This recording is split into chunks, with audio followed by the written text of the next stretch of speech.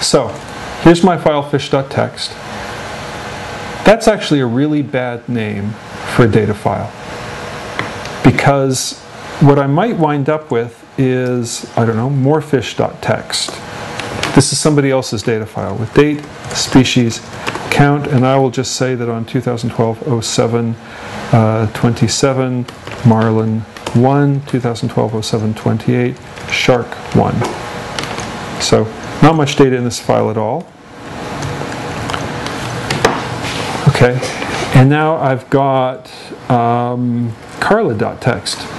One of my collaborators, Carla, sent me a data file. And it's in the right format, date, species, count, and her observations are from May. Uh, she saw a turtle, and she saw lots of turtles. It was turtle migration season.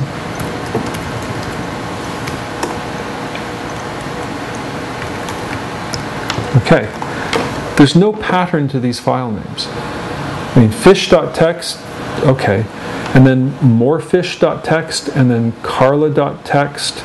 Yeah, this isn't going to help me. Um, and I might even have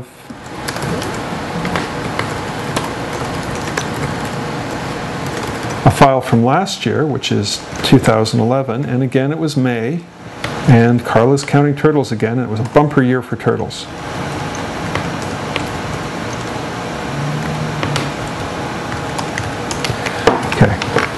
This is what most people's directories wind up looking like after they've been doing experiments for a while, after they've been collecting and working with data for a while. You've got thesis, old thesis, good copy of thesis, you know, paper 01, paper 02, the paper with Bob. You wind up with a whole bunch of rather arbitrary names and there's no rhyme or reason to them. They're about as sensible as the names for genes, and that's not a compliment. If you want it to be easier to work with your data, then the data has to be formatted nicely. Let me show you what I mean. Let's go back into carla.txt for a moment. If this said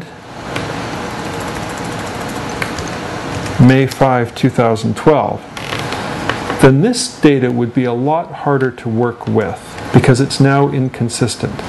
If I grep for turtle in carla.txt and carla old.txt, you can see that it's printing out the file name, colon, the line that matched. If I grep dash h, it removes the header, the file name, so that I only get the matching lines. Yeah, these dates are easy, but this one's in a different format. Why is that a pain? Well, Suppose I want to get all of the observations from 2012 from all of my files. That's easy. grep 2012 in carla.txt, carlaold.txt, fish.txt, and morefish.txt. Right? And then we'll do the dash h to get rid of the file name. There we go. That was easy. But what if I want to get all the observations from May? Well, do I grep for dash 05 dash? I'll put that in quotes. Whoops, that doesn't work because dash introduces an option, a flag. So I have to say my expression, dash e, is that. There we go, sorry, it was a lowercase e that I need. So, if I'm looking for everything from May, 2012-05-06, that works fine, but I missed the one that actually said May. So I have to grep for May, and that just gets me one line. Right away this has gone wrong. If I have to do several queries to assemble my data, Eventually, I'm going to forget one of them. Eventually, I'm going to include something twice. And think about how many different ways there are to write the month. No, the right answer here is to go back and repeat nano. Notice I don't type the command number, I say bang nano. That goes back and finds the last time I ran the command nano and reruns that. Now, try dash 05. Now, if I grep for that, no headers, the expression is the actual string in quotes dash 05 dash, right? And I need to do the dash e because otherwise the command will say, oh, that dash there is introducing a new option, but there is no such option. Now it's finding everything from May in all of my files. And I can easily go back and reliably find everything from July or everything from 2011 July. Turns out we don't have any observations from there.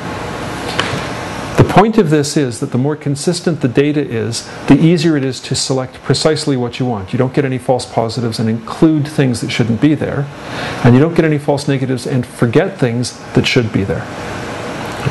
The same is true of file names. Suppose I want to only look at the files that I got from Carla. With four files, it's easy. I can say WC Carla old and Carla, and it'll give me that. But what if I had 600 data files, or 6,000, and 100 of them had come from Carla? Typing Carla dash 1, Carla old, Carla November 1997, and so forth, pretty soon my hands would get tired and I'd make mistakes. What if I say WC Carla star dot text? Star is a wildcard character. It matches zero or more characters. So when I do WC Carla star dot text, it says I will match C A R L A and then any number of other characters, including zero, and then .txt. So that matches Carla.text. There's zero characters to match the star, and it matches Carla old.text because the star matches dash OLD. Okay, what if I want to get just the fish files? ls fishstar.text. Huh, that didn't work. Oh, that's because the extra characters come at the start. So ls starfish.txt, and that matches M-O-R-E, F-I-S-H, and it also just matches a plain F-I-S-H. And if I wanted to catch all of them, ls starfish star.text. Okay, this looks useful.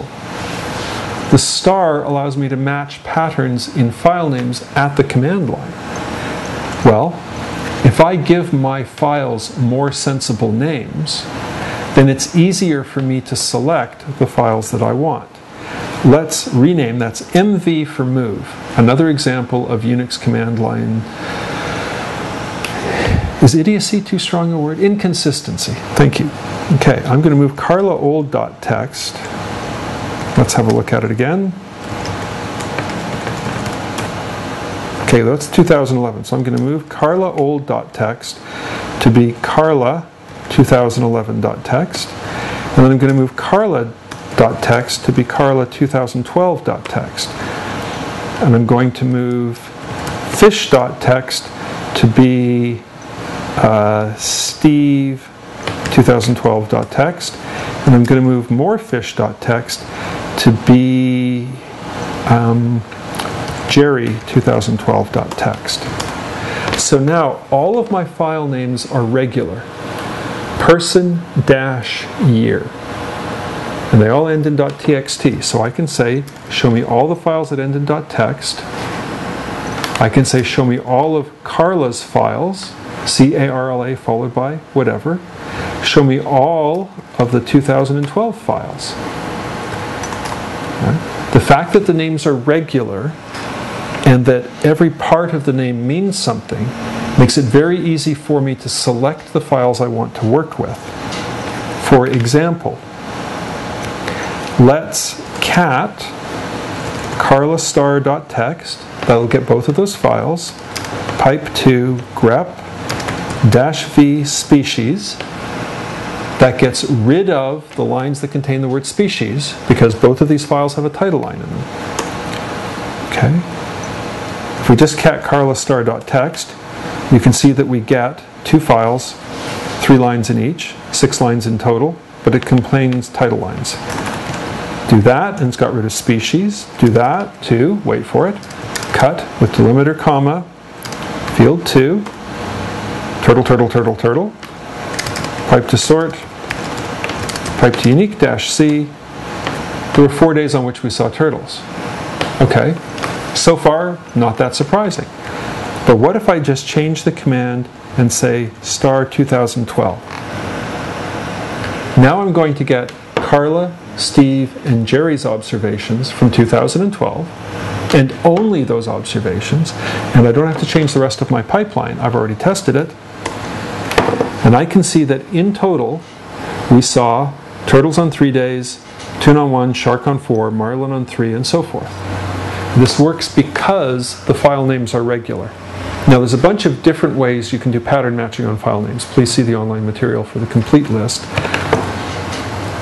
The key idea here is that if you want your data to be manageable, it has to be consistent internally and it has to be consistent externally. When you work with larger data sets, you'll wind up with directories containing data files. The same thing applies. You should have consistent naming for your directories. Don't call them first thesis, thesis draft, good thesis, thesis that went to wherever.